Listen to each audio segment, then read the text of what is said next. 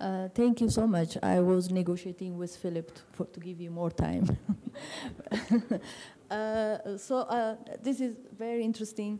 Um, I would like to ask, because digitization is here, we're going to use it, but how are we going to be able to apply it in these different uh, uh, levels of economic growth that we are facing currently? Ethiopia is completely different from South Africa, South Africa from uh, Nigeria, even within this same continent, and Europe and the West are completely different. So what, what, what, what how can we use this, this technology to improve efficiency and equity to a certain extent? Uh, uh, Yolisa has touched it, but how can we even increase it even more? I will give this opportunity to the ladies. Kate, and then Jacqueline.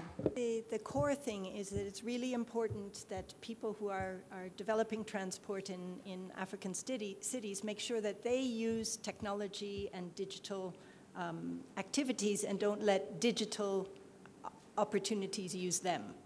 Um, so there are lots of new things available. Look at them, look at your own strategy, figure out where they fit in. I don't think that people who are developing transport strategies under severe constraints in complicated cities um, should be pressured into using things that don't fit their needs. I do think that there is a place for digital taxis and various other types of uh, digital and ride sharing issues. By the way, ride sharing is hardly a digital invention. Ride sharing has been going on in Nigeria for probably before, since before I was born. Taxis have been doing it for years. It's a standard mode. There's even a name for it different in different cities. So cities know how, what their options are, and I think that they, they already do a fairly good job of sizing up what can fit together. I think it's useful to interface with some of the new digital options that come up and say, okay, let's see what you have and what fits with us. But it is absolutely essential that this bad boy identity of some of these digital um, systems we don't pay tax, we disrupt. You are disrupting both the formal system and the informal system in ways that mess things up. They don't improve, they don't advance. So if you are bringing in a system, bring, it, bring in your system into the system. And that means it's really important to be integrated into the tax system, into the labor system, into the registration system, into the statistical system. Um, uh, the uh, Transport Authority in Lagos said that as far as they're concerned, digital taxis, and it's not just Uber, Taxify, Oga Taxi, are statistically invisible. They, uh, they, they can't tell them from private cars. So the statistical system and the Uber statistical system and the public statistical system need to interface. And my understanding is that when the government, both in uh, Abuja and in Lagos, tried to get access to the statistical systems, the data systems of the digital taxi companies, they were highly resistant. So it is true that they have a share data system, but the impression I get is that's not commensurate with public needs, and those things need to be negotiated. Thank you.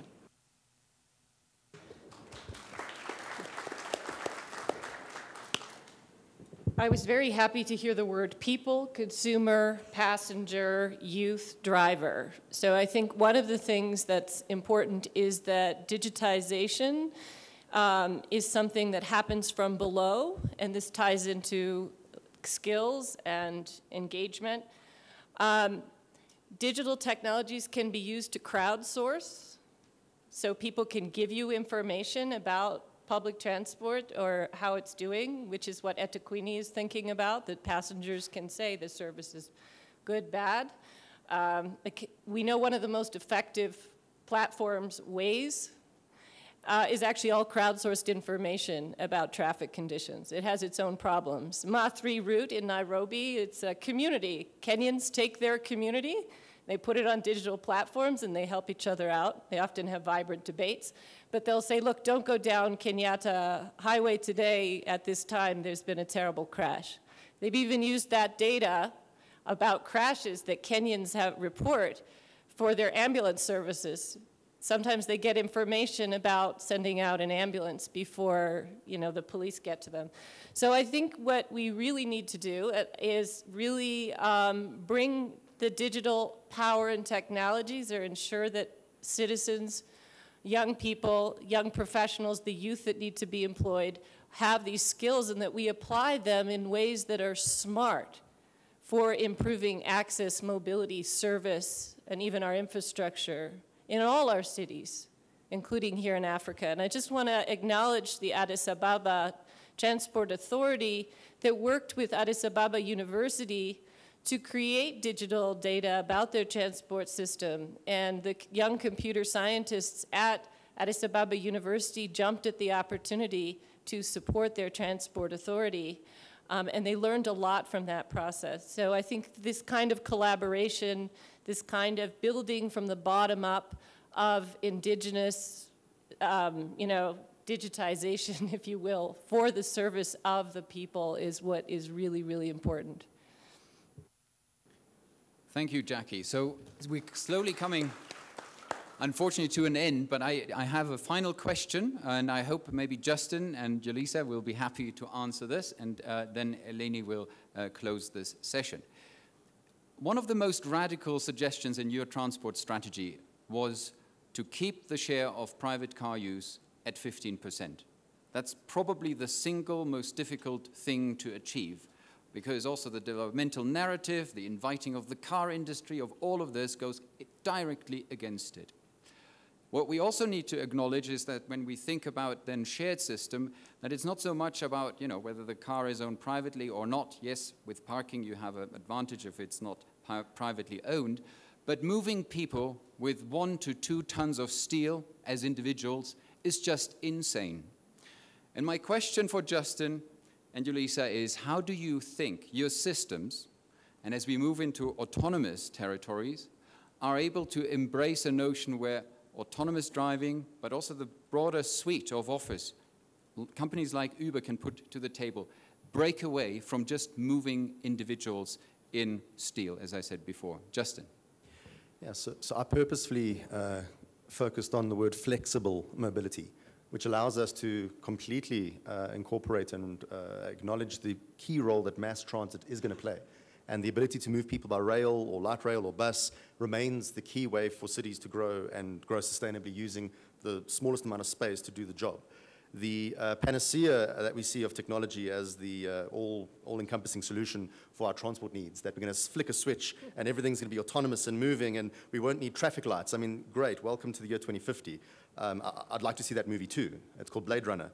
Um, we're also very concerned. What happens when um, the, a, a foreign state owns that autonomous technology? And a foreign state owns the way that your traffic lights coordinate and that foreign state suddenly is not so friendly to you anymore and flicks a switch and your city grinds to a halt. So the technologies that come out are, what, what worries me, very proprietary, very advanced, and just as you saw with, with, with, with uh, 2016 and uh, uh, Facebook, we're only starting to understand the social externalities and the social consequences. And I think we're at Transport 1.0 was you know, zero technology and the traditional ways of sharing. Transport 2.0 is not ideal, but Transport 3.0 represents an opportunity for us to uh, look at the labor question, to look at the need for actual proper information sharing.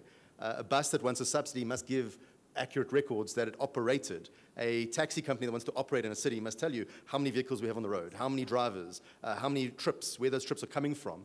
Um, the curbside is going to become something that we want to uh, uh, uh, use congestion charging for. And so technology has a role to play, but it has a, a role to play for good. I'm frankly quite embarrassed by my colleagues in the shared mobility technology space. I now almost want to uh, hide when you look at these uh, dockless bikes and scooters that just get dropped down. You know, if I went into a city and dropped down 10,000 tons of steel overnight and said, there you go, scooters, everybody, uh, I'd be in jail. You know, so how is it that we just kind of wrap, a, wrap, an app around it and suddenly illegal behaviors are acceptable? Um, I, I, think the shared mobility and technology industry has a, a, really hard look that it has to do it itself before we look at a Transport 3.0. But hopefully flexi flexible mobility will be respectful of uh, urban mobility systems.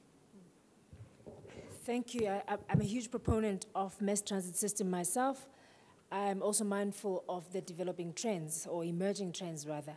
I think it's quite important that we ask ourselves the, the hard question why is it that in some markets you'll find that companies find it easy to come in and do as they wish, as it has been shared uh, around the table?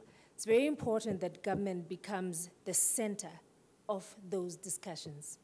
In other words, you are seeing where, what, what is happening around the world. Take control of that. Because if you don't, somebody else will. Let's be frank. Justin talks about scooters being dropped. Clearly, there's a demand. And somebody has just put in an app to add the efficiency. Bicycles have always been there, scooters have always been there. So, this is something that doesn't happen in a vacuum. An opportunity is seen and an opportunity is being taken by a company that, or companies that do have the resources and the, and, and, and the know how. So, how do we see this thing unfolding in South Africa? I think there's a huge opportunity in leveraging on technology.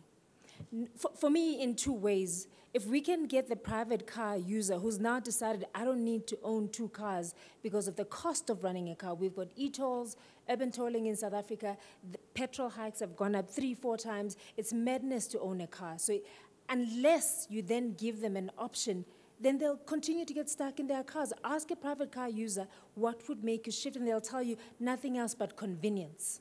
The price is a discussion for another day because you can't compare the price of a taxi to a price of an Uber vehicle. The second thing I want to say is that we would not have done justice to our society unless the same application makes it possible for somebody who's in the remotest rural area of South Africa to be able to access public transport.